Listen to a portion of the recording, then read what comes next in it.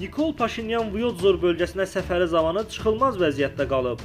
Kanal 13 Ermənistan mətbuatına istinadən xəbər verir ki, Paşinyan buraya səfəri zamanı 2-ci Qarabağ müharibəsində ölən əsgərlərin məzarlarını da ziyarət etmək istəyərkən, qəbristanlıqda olan əsgər yaxınlarından biri Paşinyana məzarın üzərinə gül qoymağına mane olub. Bu qardaşımın məzarıdır.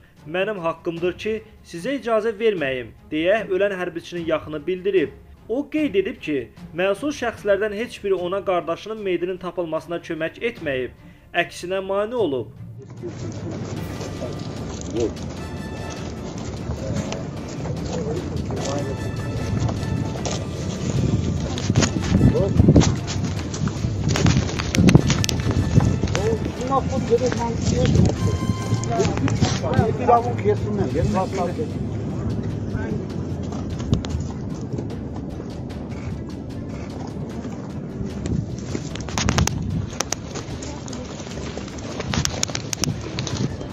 Ես ես խնդրում։ Ընտվեց իրա երեք երեք հանդես։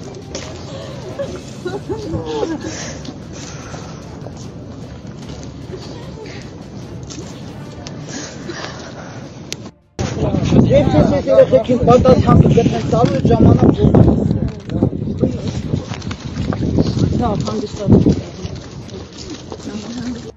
կոնկրետ ձեր իշխանությունը փոխարեն է ինձ օգնել գտնելու իմ եղբորը ընդհակառակ խանգարում։ Եթե ես չգտնեի, դառնում էր նույն այո։